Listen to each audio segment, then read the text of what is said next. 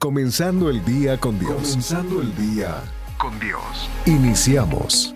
Muy buenos días. Bienvenido a este tu programa Comenzando tu día con Dios.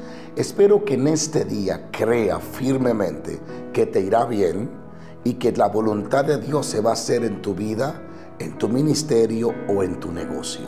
Tienes que creer que a los que aman a Dios todas las cosas le ayudan a bien. Espero que tenga esa fe firme de que en este día que va a enfrentar y que va a tener desafío y tendrá que tomar algunas decisiones, el Señor sea que te guíe a tomar todas esas decisiones y te dé la valentía, la agilidad y la fuerza para hacer su voluntad en este día. Para decirle no a lo que tiene que decirle que no y decirle sí a lo que tiene que decirle que sí, de acuerdo a la palabra de Dios. Hoy quiero compartir una famosa historia de la muerte y resurrección de Lázaro.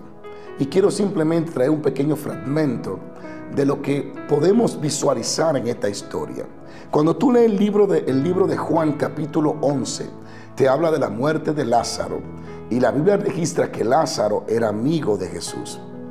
Y es impresionante ver cómo dice la escritura que de pronto Lázaro enferma de una enfermedad que pareciera que no tenía cura.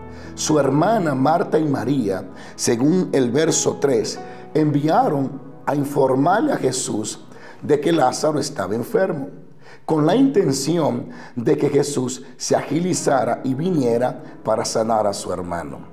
Ellas habían sido testigos de muchos milagros y de muchas sanidades. Ellas habían visto a Jesús sanar muchos enfermos. Por lo tanto, era, era de esperarse que si Jesús llegaba a tiempo, Lázaro podía ser sanado, ya que ellos habían experimentado el poder de Dios operando milagros a través de nuestro Salvador Jesucristo.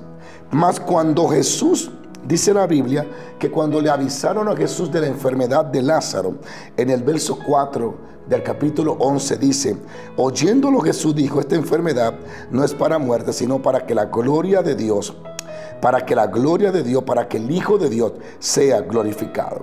Esta enfermedad no es para muerte, sino para que la gloria de Dios, para que el Hijo de Dios sea glorificado. Es un, eh, poquito difícil de entender que cosas que no están sucediendo, que aparentemente no se ven bien, sean permitidas por Dios para que Dios sea glorificado. Jamás María y Marta, ni siquiera Lázaro se imaginó que la situación difícil, incomprensible, la enfermedad, el dolor que estaba sintiendo Lázaro, para ellos posiblemente era un momento de crisis, que realmente lo fue. Para ellos fue un momento duro, pero ellos nunca se imaginaron que el Señor tenía unos planes gloriosos a través del sufrimiento y de la enfermedad que Lázaro estaba experimentando. Y muchas veces nosotros no captamos el panorama completo, no miramos el panorama completo. Cuando vemos que las cosas no nos salieron bien, cuando vemos que tenemos aún cierto dolor, cierta enfermedad, o cuando tenemos ciertos fracasos nosotros nos derrumbamos y pensamos que ya Dios no nos quiere, que Dios nos abandonó. Sin embargo, Dios siempre tiene un plan en cada situación que experimentamos. La Biblia registra y dice que a los que aman a Dios todas las cosas le ayudarán a bien. Y es por eso que en este día, antes que comience tu día, entiendas que todo lo que va a experimentar en este día está bajo un plan de Dios. Y yo sé que Dios al final te hará entender el por qué y para qué permitió las cosas. Una de las cosas que es difícil de comprender es el por qué y para qué de la situación que estamos experimentando.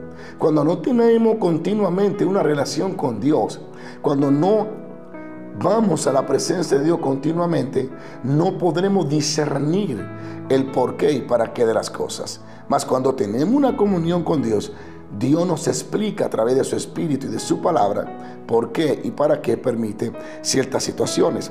O sea, Jesús dice, este problema, esta situación que Lázaro está experimentando, María y Marta, no es otra cosa que un es un tiempo donde Dios será glorificado.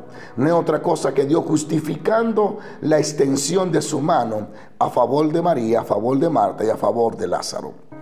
¿Te imaginas que el problema que tú estás viviendo en este día no es otra cosa que Dios buscando la ocasión para Él ser glorificado? Él será glorificado en cualquier situación que nosotros estemos experimentando. Ahora, en el verso 5 dice, y amaba Jesús a Marta y a su hermano, y a, su, a Marta María y a su hermano Lázaro. Mas cuando yo, cuando oyó pues que estaba enfermo, se quedó dos días más en en un lugar donde él estaba. Y luego dijo, vamos a otro lugar. Es decir, Jesucristo intencionalmente se atrasó. Le dijeron, maestro, tu amigo está muriendo. Y la respuesta de Jesús fue quedarse dos días más. Y aún así fue a otras aldeas. ¿Por qué?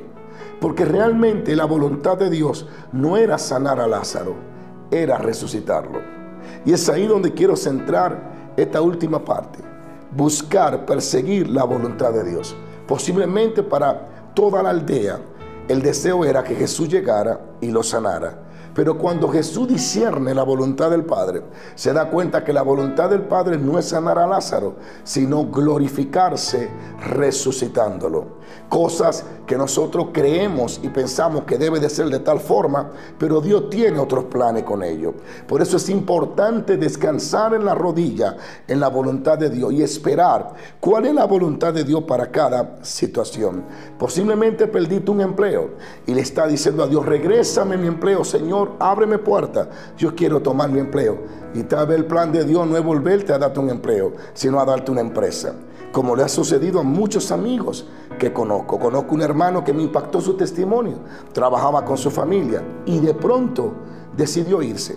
Perdió aparentemente su empleo, pero Dios le dio una academia de béisbol, lo bendijo al 30, al 60 y lo, y lo bendecirá al ciento por uno, como otros también que conozco. Es decir, muchas veces oramos de acuerdo a lo que entendemos que nos conviene, pero Dios tiene planes mayores a lo que nosotros podemos discernir. Jesucristo discernió y entendió que Lázaro no iba a ser sanado, sino resucitado.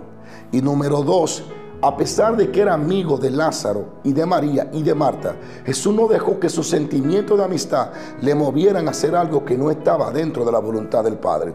Él echó sus deseos, sus sentimientos, sus emociones, sus sentimientos a un lado y le dio paso a hacer solamente lo que el Padre le había revelado.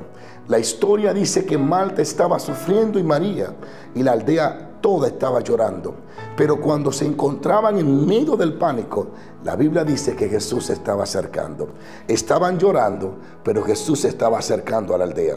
Porque Jesús decidió, cuando Lázaro murió, dijo, ahora vamos, porque Lázaro duerme y yo voy a despertarlo. Es decir, estaba muerto. Alabado sea el Dios Todopoderoso. María estaba llorando, la aldea estaba llorando, Marta estaba llorando, Lázaro estaba muerto, pero Jesús se estaba acercando. Y cuando Dios comienza a acercarse, Él traerá solución a lo que humanamente nosotros no le hemos podido dar solución. La fuerza, la agilidad, la capacidad, el potencial de María y de Marta estaban limitados, pero el de Jesús jamás estuvo limitado y jamás estará limitado. Yo no sé lo que estás experimentando, pero Jesús se está acercando a tu situación. Yo no sé si está llorando, si perdiste algo, no sé en qué momento te encuentras, pero te envío esta palabra de transformación, de ánimo y de fe. Jesús se está acercando a tu casa. Y yo estoy seguro que si fuiste capturado por esta grabación, por este video, a través de este medio de redes sociales, yo estoy seguro es que Estoy seguro que Dios coordinó este momento para decirte, ya yo me estoy acercando a tu situación y le voy a dar vida a lo que se murió en tus manos.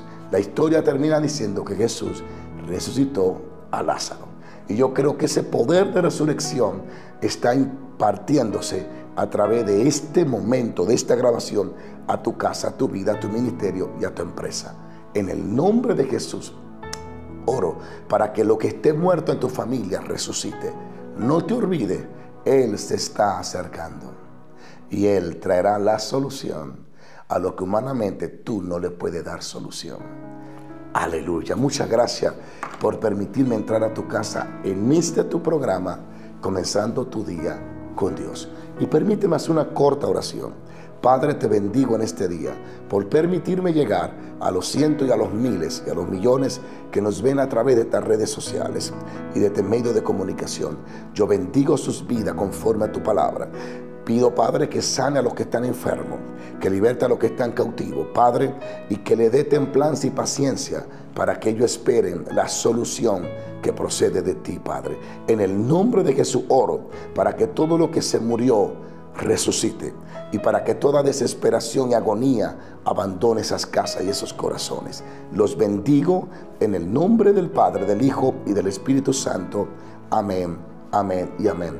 La paz de Dios sea contigo. No te olvides, si no estás suscrito a nuestro canal, hazlo hoy mismo, dale a la campanita y así recibirás notificación cada vez que subimos un video, una palabra fresca del Espíritu Santo.